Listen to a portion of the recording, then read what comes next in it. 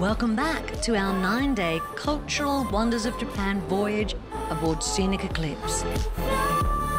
What an amazing journey it's been, with each port delivering the very best of this country's sights and delights. Today it's Sakaiminato, a tiny fishing village with some lovely surprises for visitors. The story of a man called Adachi Zenko is a great example of the entrepreneurial spirit that helped rebuild Japan after the war.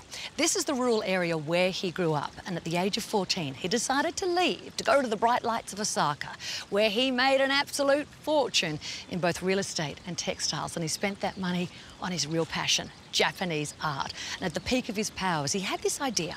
He'd like to come back to his hometown and build a museum that would create employment and also explain to people Japanese art via building a real-life Japanese garden before you entered the gallery. That idea has been a triumph.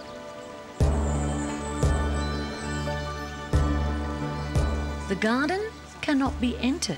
It must be viewed from the museum building itself, and therein lies the magic. This is such a brilliant way to understand Japanese art. I mean, if you came here and went straight to the gallery, you probably wouldn't understand what all the images meant.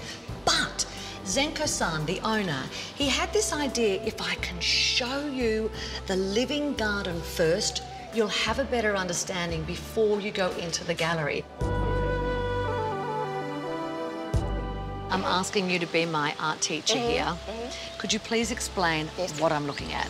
Okay, the rock in front of you represent steep mountains. Okay. The white gravel, yes. that is expressing the flow of water.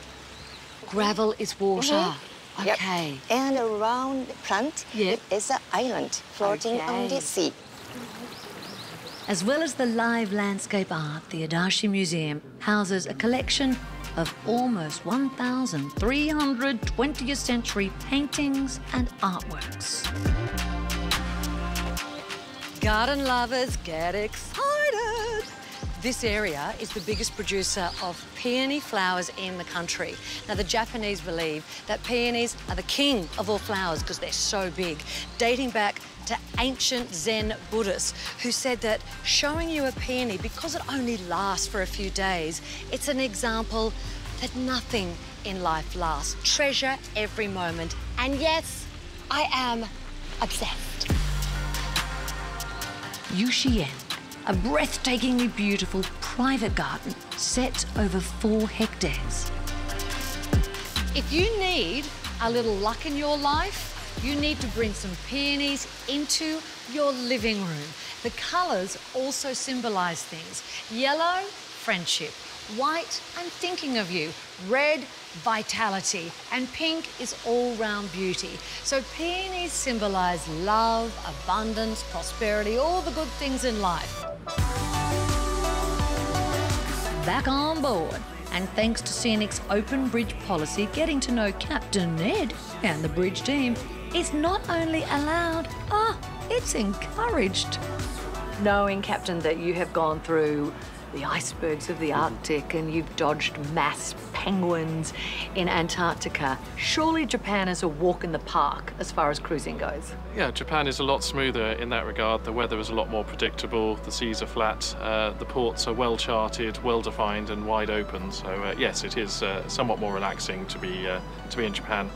I love Captain Ned and the entire crew. They are working tirelessly to exceed guest expectations on board as well as on shore. I have just felt, travelling through, that it's been lovely to soak up that element of nature everywhere we've gone, dive into the culture too. That's very much part of what Scenic's about, uh, to explore the nature and the culture mm. sort of equally together, um, a sense of discovery.